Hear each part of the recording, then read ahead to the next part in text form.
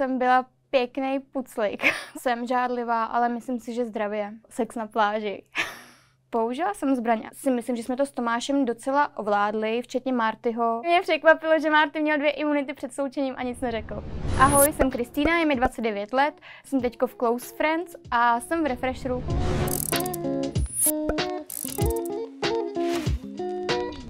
Poslouchala jsem, mám ráda hip-hop a konkrétně Majka Spirita. Yeah, yeah. Som aký som, nedá sa s tým nic spraviť. Raz už taký som a môžete ma za to aj zabiť. Uh, album Som aký som. Když jsem se narodila, tak jsem byla pěkný puclík. Vážila jsem pět kilo skoro. Pak jsem se vytáhla, no, byla jsem hodný dítě. Chlapem. Ne, to radši ne. Asi s mým uh, velitelem a dělala bych si nějakou odměnu pořádnou. šla bych znova do Survivoru, šla bych do All Stars. Do žádný jiný asi ne. Jsem žádlivá, ale myslím si, že zdravě. Dávám svoji žádlivost najevo, ale nemyslím si, že bych dělala nějaký scény. Drink, uh, pornstar Martiny, anebo mojito, anebo sex na pláži. Obojí. Každý má svoje cestování, člověk to hodně pozná a společenská akce, tak tam je zase hodně sociálních vazeb a může tam být s kámošema. Cestování po světě, Amerika, chtěla bych navštívit Ameriku, znova se podívat do Dominikány, jít na nějaké památky, města, New York a podobně, takže tak. Bydlím, bydlím, bydlím v bytě. Bydlím v bytě, bydlím v Olomouci, bydlím s mým přítelem a bydlím se svým psem. Náš byt je 3KK. Použila jsem zbraň, ale v rámci výkonu jsem si ji nestřílela. Eh, když by to byla nevyhnutelná situace, tak bych k tomu byla nucena, ale vyloženě jako po někom střílet nechci. No, tak s hygienou to je mazec. Žádný hygienický pomůcky nemáme, kromě teda eh, dámských potřeb, když má žena svoje dny. Nejvíc mi tam chybělo asi nějaký kartáček, kartáček a zubní pasta. Nežádlil, nežádlil. Můj přítel je tolerantní a ví, že bych mu nedala žádnou záminku k žádlivosti, takže to snesl v pohodě. Tenhle ten krok bych udělala určitě znovu. Survivor to dovoluje a když člověk může, tak proč toho nevyužít? Objasnil se tím spoustu věcí. Za bych titánům, za ten cvič jsem byla ráda, u lovců se mi prostředí líbilo víc, ale u titánů byla lepší atmosféra.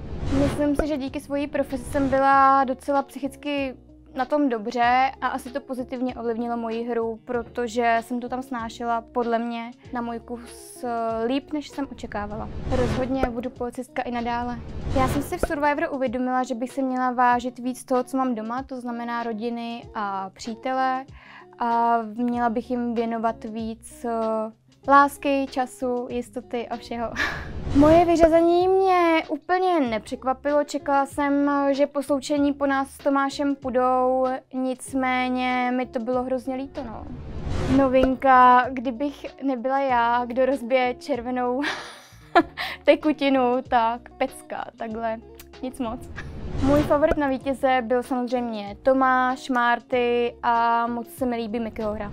Nevím, jestli vyloženě nějaký herní tah, ale určitě získání individuálních imunit a potom vlastně switch do kmene titánů, kde si myslím, že jsme to s Tomášem docela ovládli, včetně Martyho a těch situací tam bylo víc, no, asi i ty souboje, kmenový a všechno takže ale konkrétní herní tah nevím přesně. Viděla jsem všechny epizody, něco mě překvapilo. Překvapilo mě, jak mluvil hezky Marta Scarev, Radek, když jsem byla svičnutá, ale nic, co by mě vyloženě naštvalo, překvapilo nebo cokoliv jiného. Nějak jsem se všem počítala, co jsme si řekli na ostrově, tak ve finále bylo i v té televizi. A vlastně mě překvapilo, že Marty měl dvě imunity před součením a nic neřekl. Tak sám o sobě Survivor je velká výzva, je to hodně zážitků, je to něco, co člověk nezažije, dokud to neskusí a neví, jak se bude chovat v této situaci. Prostě jedna velká výzva, najednou tam je člověk sám, bez kontaktu, bez rodiny a musí se spolíhat na sebe, neví, jestli může důvěřovat ostatním, nemůže, musí se prostě o sebe postarat sám.